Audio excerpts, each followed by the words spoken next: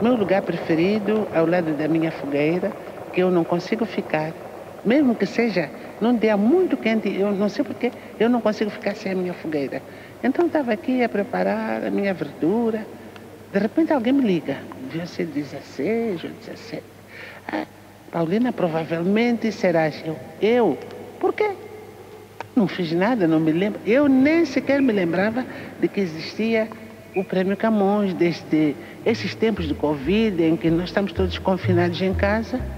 Eu estava muito tranquila na minha vida camponesa, muito bem. Então, recebo a notícia. Só sei dizer que a verdura que eu normalmente faço com aquele gosto, com aquele prazer, aquele requinte, porque sou eu mesma que vou comer, acabou queimada. Nem cheguei de provar, nem sei que sabor deve ter, porque fiquei assim meio transtornada. Deus, o que, é que está acontecendo? Mas ok, de toda forma. Fora, da fora, da fora, da fora,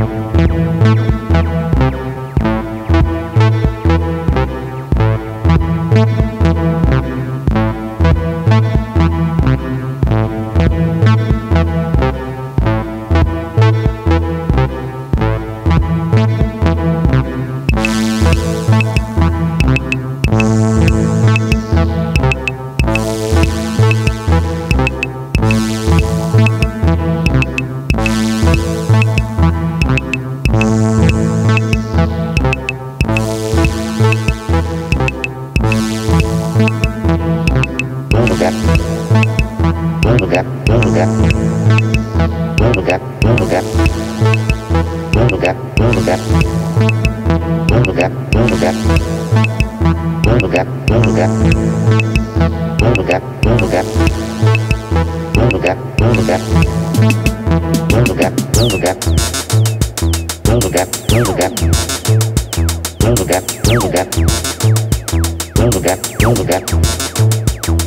up, don't look up. Vamos lugar, vamos lugar.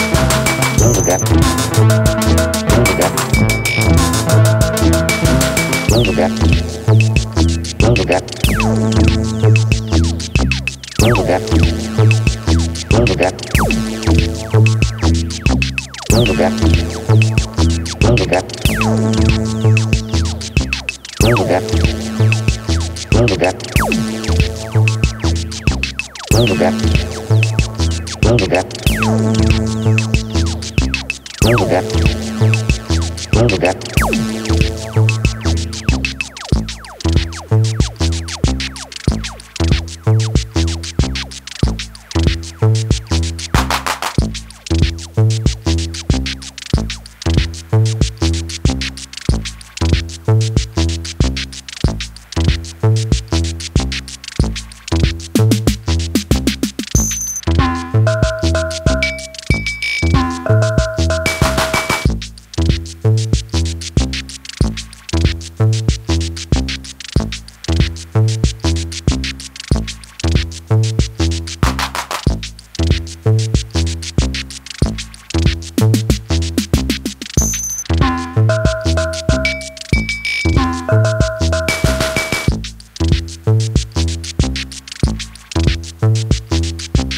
Eu sou aquela pessoa que eh, aprendeu a ler e escrever, foi à escola, teve essa sorte, mas também tive a sorte de caminhar pelo país e descobrir as maravilhas que este país tem. Então, eu não sou propriamente aquela pessoa que se pode dizer, ela veio de um estado social X, assim, nobre, não. Eu vim do chão. Então, um reconhecimento para alguém que veio de lugar nenhum sem dúvida, é um motivo de inspiração para uma outra geração. Esse reconhecimento vem para mim, sim, mas não vem para mim. Vem para todo um povo.